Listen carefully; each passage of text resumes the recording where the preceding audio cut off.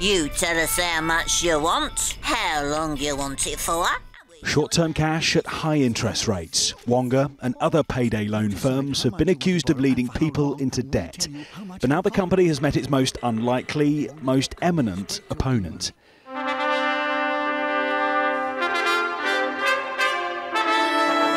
The Archbishop of Canterbury, Justin Welby, is waging a war on Wonga. The former financier says he recently told the boss of the lender how he'd like to see it close. He says, I said to him quite bluntly that we're not in the business of trying to legislate you out of existence. We're trying to compete you out of existence. Today, a member of the Archbishop's staff told me why Wonga is a worthy target. Is Wonga immoral, do you think?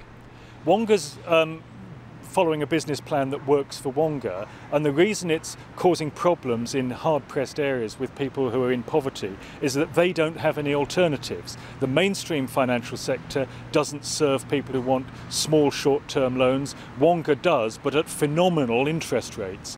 Archbishop Welby's idea is to give people greater access to credit unions. He launched this one for clergy and church staff earlier this month. Credit unions are small, non profit financial organisations which charge their members low rates of interest to borrow money. In the UK, there's currently around 450 of them. The Church of England won't run the new unions, though, but will offer expertise and give organisers access to church buildings. No one from Wonga would speak on camera to 5 News, but it told us it welcomes alternatives to solving people's financial challenges. To take on the entire industry, the government recently announced they'll invest £38 million in credit unions. And the business secretary says he's backing Archbishop Welby.